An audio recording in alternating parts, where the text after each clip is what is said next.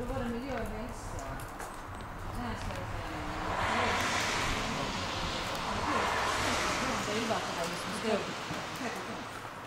Om det vet vi inte. Nej, nej, men det är Nej, väl någonstans eh, det är där. de här Ja. två uppgifter.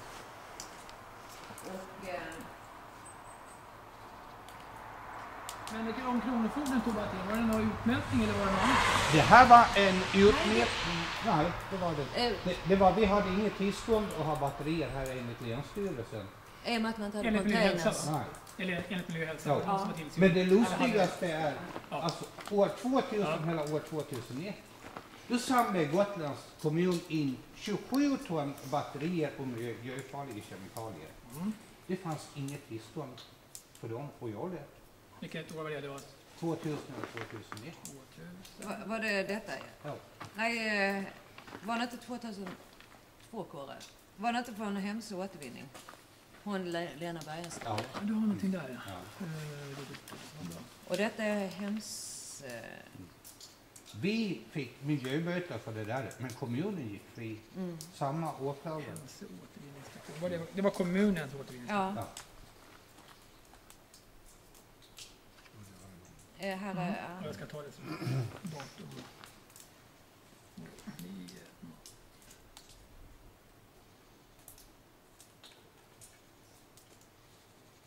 Så det var inte internationell. ja.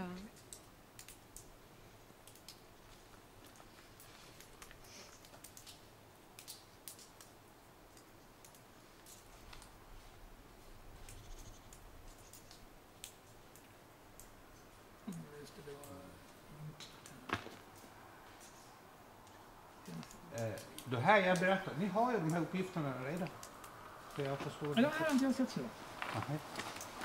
Det är mörkt.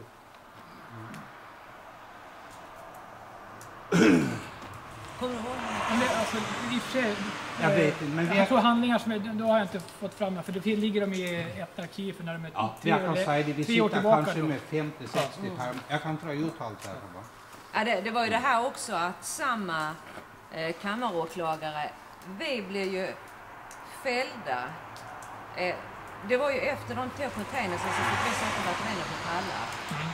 Och då fick vi inte förvara det så, men vi hade liksom inget val. Men vi ställde upp dem snyggt och ordentligt. Bara för att det inte skulle... Utan, Ja, ja. utan miljöpåverkan. Ja. Men då tyckte Mattias Veles, nej, vi, det var risk för att vi skadade mark och natur och djur här.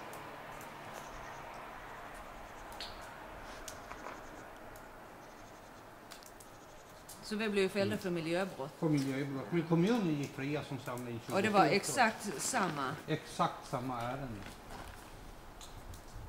För det, där står att det, Mm. det finns ingen anledning att anta brott som förande allmänt åtal har förövats. Och då Ja. hade de inte, alltså inte samma... Hur förvar, var det förvaringsfråga där som det gällde? eller? De, de stod snyggt och prydligt på Men pallar. där är är inte Det var det att de hade ju inte tillstånd att att Nej, nej. förvara det. Okej. Det var, det var, det var kommunen. tillståndsfrågan. Ja, Och här var det förvaringsfrågan. De hade. ja. Så i, i princip kan man säga att det, det gällde ju, om man säger miljöbrott i båda fallen. Mm. Och de gick fria och vi blev fällda. Bara att säga, ni har läst grejer idag om miljöbrott i Dalen va? Mm. Mm. Men där verkar man ju i alla fall till De kommer att fria, det är Ragn-Sells. De har miljoner. Ja, det får vi, vi får se utgången. där Sen ligger det däck här bakom Ja. som vi har samlat in Mm. på direkt order Ragn-Sells 1994. Ragn-Sells vägrar, trots ett muntligt avtal, ersätta oss för de här däcken. De har legat nu i 20 år. Mm. Så de tog upp min mark och de tog upp min plats. Är det Ragn-Sells däck? Alltså? Det är Ragn-Sells. Vi har samlat in dem. Ragn-Sells. Ja. Och vi ska inte ha någon ersättning för det här. Vi ska alltså betala Ragn-Sells kanske 200 000 om året för att vi jobbar för Ragn-Sells. Det är ungefär samma som ni ska betala, ni har, 30 000. Ja, ja, visst. Att vi betalar Länsstyrelsen för att ni jobbar där, så ni gör det. Eh, Men om, vi, om det är så att det är Ragn-Sells däck och du... De, vi har samlat in dem, för Ja. direkt order Ragn-Sells. Ja. Men, men jag lät på Ragn-Sells gjorde Har ni, av- ni har ett avtal om det här i Danmark också? Inskriftligt. Vi hade ett muntligt Ja, ja, ja. avtal och då tyckte Kora Ja. med att, vi tänkte inte på det då, att har man ingått ett avtal så ska man ju hålla det för muntliga avtal gäller ju lika som skriftliga. Ja.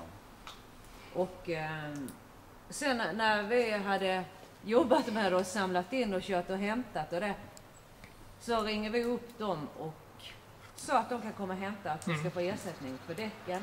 Och då så skulle vi inte få betalt för det plötsligt. Är det ju rätt konstigt med mitt byggnadslov. här.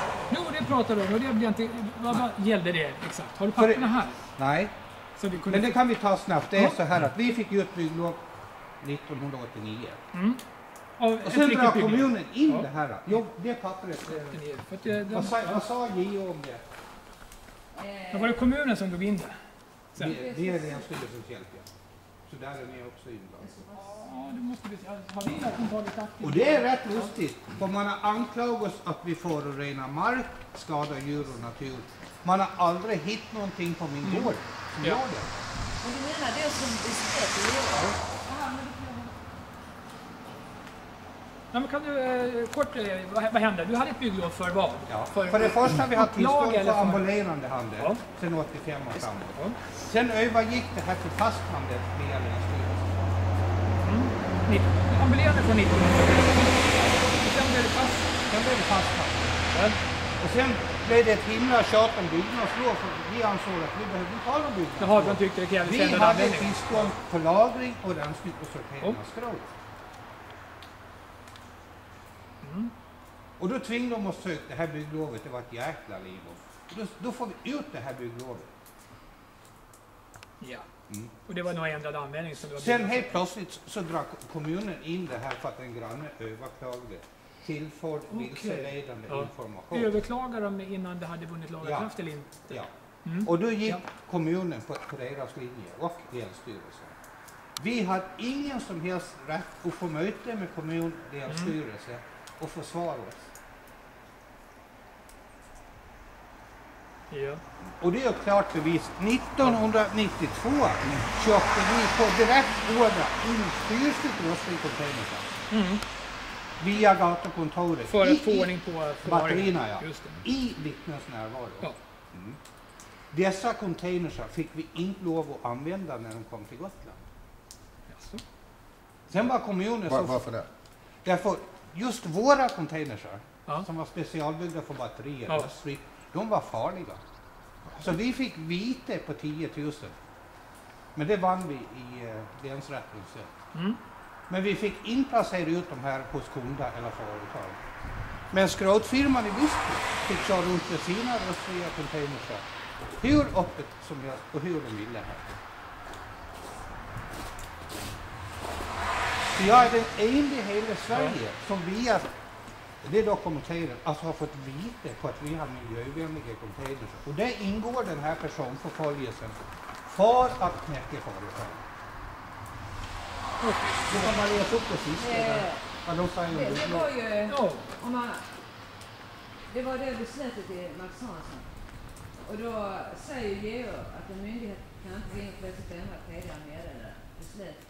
Ja, det, det så är det. Att om man får gynnande beslut som vunnit laga kraft Ja. så kan man inte ändra det till det Ja, men sämre. fortsätt att läsa upp Så det. Ja. att, Ja, för det talar hänsyn till den enskilde medborgarens trygghet. Eh, och då ska man kunna förlita sig på att beslut består och kunna inrätta sig efter detta. Men frågan det här som man måste ställa, för jag håller på med överklagade bygglov nu när jag sitter på Ja. Länsstyrelsen. Ja. Mm. Om, du- om, om du får ett bygglov Ja. som någon överklagar in, inom överklagandetiden, Ja. då, så länge det inte har vunnit laga kraft så kan en annan i- nästa instans Mm. upphäva bygglovet Mm. Ja. fast det går emot det. Mm. Men har det vunnit laga kraft Ja. får man inte bara ta tillbaka Nej. det. Men om man överklagar ett bygglov, om grannen gör detta, Ja. så måste det ju vara relevant fakta i överklagandet. Ja, alltså det, det Här- vet, så här är det att eh, när, man överkl- när grannen överklagar, Ja. då ska, då, Det ska du ska ha fått ut ett eh, brev från Länsstyrelsen Ja. om, med överklagandet och då ska du kunna skicka in och säga att det här tycker jag är helt åt helskotta. Det gjorde vi, men det är liksom, vi, vi har ju aldrig räknat som vare sig företagare eller människor i kommunens och länsstyrelsens Men, men det viktigaste tror jag här att det är ju att eh, beslutet från Länsstyrelsen kan ju överklagas till eh, Då Ja, men det nu, nu, är det en nu ska vi hålla oss till vad Länsstyrelsen har gjort. Ja. Vi ska skita i JO och instanser utan nu Ja. handlar det om kommunen och Länsstyrelsens agerande. Och ni har alltså gått in, Ja, vi kan inte ta tack. för kommunen. Det måste. ja det skiter ni har gått in och tagit över det här företaget tillsammans med kommunen. Vi har varit totalt rättslösa här under 52 års tid. Där jag och min fru, han tjänar krona på det här. Och där ligger bland annat att vi ville betala skatt och moms. Vi har vägrat gått ut och stjält skrot för tiotals miljoner. Ja. Sen är det ju märkligt att mycket av den här skroten som har kört från kommunens soptippar, den har bara försvunnit. Och du har ju, du har ju varit länsstyrelse ett år. Mm. Då borde jag kunna sätta in i det här lite bättre och svara på mina frågor. Ja, jag har ju tagit över handläggningen så att säga. Nu precis. Jag har inte jag, jobbat med det frågorna värsta jag tidigare. vet, det är när folk skyller på var- Ja. varandra. Och hur mycket känner du igen av det här ärendet? Du har ju Nej, ytterst lite. Ja, det är ju märkligt. Det är hemskt märkligt. Så ni pratar inte med varandra på Länsstyrelsen vid kaffebordet och matsalen? Det gör man inte. Vad pratar ni om då? Kan oss, jag, det. kan jag få höra sanningen? Jag vet inte. Det är alltså kom folk här från Länsstyrelsen och berättade hur det går till där inne va? Inte nu, det här är Mm. mm. Ja. Jag har haft folk från kommunen Ja. som har kommit och sagt Kåre, du har upp och ner dig och kritiserat politiker, trampat på tårna. Du kommer aldrig få rätt. Det vet vi. Och sen har ni bara kört på. En sak som, som var synd med att vi fick ju ett möte med länsstyrelsen var det nu för några år sedan. Då landshövdingen skulle varit med. Hon stack.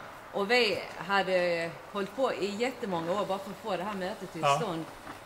Och då istället för henne så var det en annan man. Och då Mm. ville vi ju prata om vad vi har varit med om och hur vi har blivit behandlade. För vi tänkte att eh, om man kunde få upp någon diskussion i varje fall. Och då säger de till oss, för det var flera olika parter, jag kommer inte ihåg alla som var med där. Och då sa de så att vi får ju framföra våra åsikter men de kommer inte att kommentera någonting. Och, eh, för vi kände att eh, om man går dit så vill man ju liksom ja, ha en Här, dialog. här bryter ju både kommun och länsstyrelse både mot EU-rätt och ja, ja, ja, i princip varenda lagstiftning som finns. Det, det står nämligen också inskrivet här i svensk lagstiftning. Var och en svensk medborgare har rätt att bedriva näringsverksamhet. Den måste ske på lika villkor. Ja. Här ute ligger det kanske 1500-2000 ton skrot. Mm. Det finns ingen container som kan lasta i. Vi har inte råd att köpa in en grävmaskin med klo och magnet. Det finns inte på gården. Nej. Vi har ingen lastmaskin. Allt detta har statliga och kommunala myndigheter förstått. Och när vi går upp och gör en polisanmälan, då blir vi oerhört nonchalant behandlade via polisen i Visby. Då skiter De skrev, de skrev av det med en gång. Och så skrivs det av med en gång. Det är nämligen så här att det finns en sanning och verklighet utanför era kontorsrum och det har ni fan inte brytt er alltså.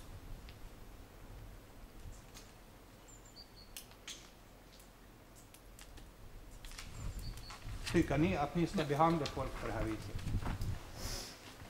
Ärligt talat. Ja, alltså, jag måste ju klarlägga att alltså, du måste förstå systemet.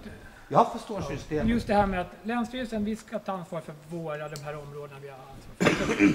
Ni ska även se till att kommunen följer svensk lagstiftning. Ja, när det gäller de områden vi har tillsyn över kommunen. Just det. Just det. Och där ingår också korruption. Jag kan Det är en speciell myndighet som har hand om i Sverige. du, Jag ska berätta för dig. Mattias Velens. Mm. Jag kan inte säga år nu.